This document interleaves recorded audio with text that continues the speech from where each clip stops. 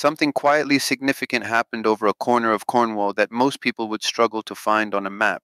At Predannack Airfield, the Royal Navy and Leonardo UK put a full-size helicopter into the air, and for the first time in British naval history, there was no pilot inside. Proteus didn't just taxi under remote control or hover with a human hand on the stick somewhere else. It ran an autonomous flight sequence where the aircraft controlled its own flying systems, while ground-based test pilots supervised the safety envelope.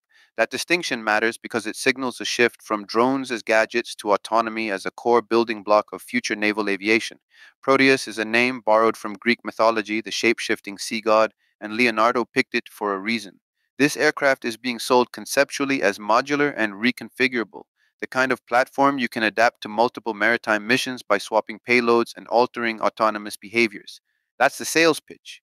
The strategic question is sharper. If you can field a large autonomous rotorcraft that can operate alongside crewed aircraft, what does that do to the Royal Navy's ability to search, track, and fight across the North Atlantic without burning through scarce aircrew hours and expensive flight cycles?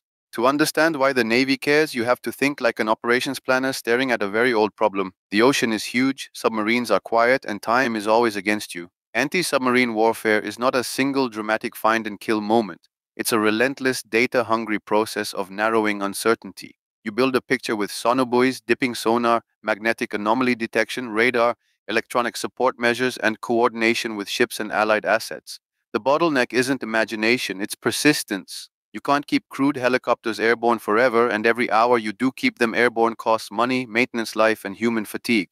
So what happens if you can hand a chunk of that persistence mission to an aircraft that doesn't get tired, doesn't need a cockpit, and can be configured as a sensor truck one day and a communications relay the next? That's where Proteus fits into the UK's broader narrative about a hybrid future force, sometimes framed as a new hybrid navy and linked to concepts like Atlantic Bastion, the effort to secure the North Atlantic approaches. In that vision, you don't replace crewed aviation overnight. You build mixed formations where autonomous platforms extend the reach of human led units. The crewed helicopter becomes the quarterback, not the workhorse. It concentrates on the complex judgment calls, the tactical coordination, the moments where a human brain still has an edge. The autonomous helicopter becomes the multiplier, taking on the repetitive, time consuming parts of the mission that don't require a person physically on board. Predannack is an interesting venue for this first autonomous flight because it's not just a random runway. It's tied to Royal Navy helicopter operations in Cornwall through RNAS Culdrose, and it's also positioned as a national drone hub for developing uncrewed and autonomous systems, especially those relevant to naval work. That combination matters because autonomy doesn't live in a vacuum. You're not proving a helicopter can fly in calm air over land just to win a press release.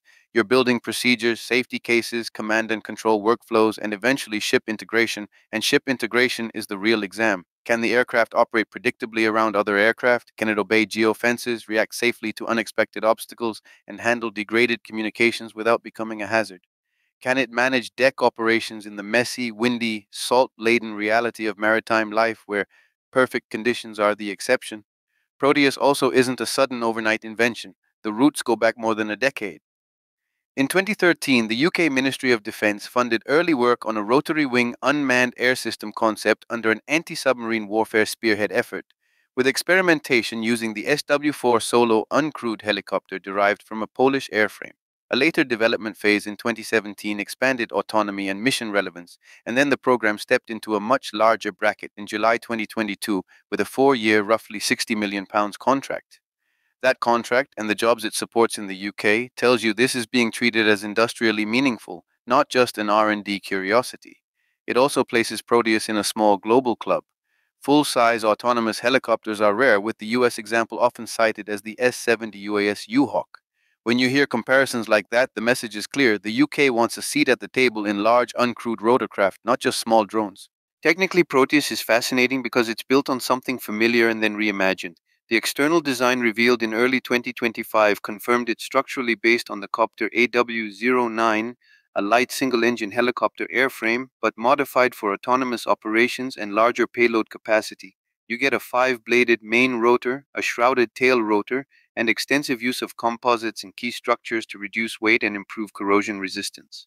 And then you remove what normally defines a helicopter in the public mind the cockpit, the pilot, the human centered interior. In their place, you pack sensors, computers, and software, the things that let the aircraft perceive the world, fuse data into a situational estimate, and then act on it. This is where autonomy becomes more than a buzzword. Proteus is described as having an integrated flight control and mission management system that combines navigation, perception, and decision making within a redundant digital framework. In plain English, that means multiple layers of systems that can keep the aircraft stable, know where it is, and execute tasks without a person actively flying it. Rotorcraft stability alone is non trivial. Helicopters don't want to fly the way fixed wing aircraft often do. Add maritime winds, turbulence, and the unpredictable microenvironments near ships, and autonomy has to be robust rather than clever. It also has to be safe. The first autonomous flight being supervised by ground based test pilots is not a sign of weakness. It's the normal path towards certification grade confidence. Autonomy in aviation is not about bravado, it's about building trust through evidence. Then there's payload, and payload is where Proteus tries to justify its size. Leonardo's stated architecture is designed to support maritime search radars, electro-optical and infrared sensor turrets, magnetic anomaly detection equipment, sonobuoy handling systems, electronic support measures, and communications relay packages. The payload capacity is described as exceeding one ton, which is a serious number for a rotorcraft in this category, and hints at a three-ton class configuration when you account for the absence of crew accommodations. If those figures hold up through testing, it means Proteus isn't just a camera drone. It's a platform that could carry meaningful sensor suites and stay on task long enough to matter. But here's the uncomfortable question that always follows autonomous systems. What breaks first in a real conflict? The most obvious vulnerability is the invisible thread connecting the aircraft to the wider force, the data links. If your concept depends on networked coordination with ships, helicopters, submarines, and allied sensors, then electronic warfare becomes a central threat, not a niche concern jamming, spoofing, cyber intrusion, and emissions tracking all become part of the tactical environment. So autonomy has to include graceful degradation. What does Proteus do when the link quality drops? Does it continue the mission on a pre-approved behavior set? Does it return to a safe area? Does it land? And crucially, can commanders trust those behaviors under pressure when time and uncertainty are worst?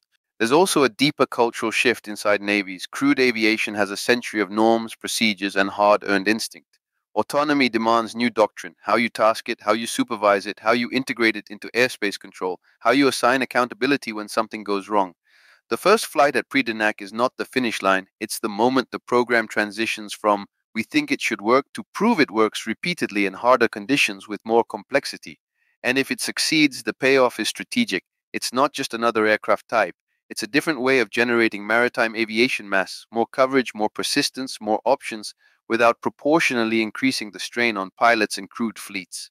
So the real significance of Proteus isn't that a helicopter flew itself for a short sequence under supervision. The significance is what that flight implies. The Royal Navy is testing whether the future of maritime air power is a blended ecosystem where humans lead and autonomous systems extend. If that hybrid model holds, then the Navy doesn't just get a new platform, it gets a new set of choices and in the North Atlantic, where distance, weather, and underwater threats have always favored the patient hunter, choices are everything.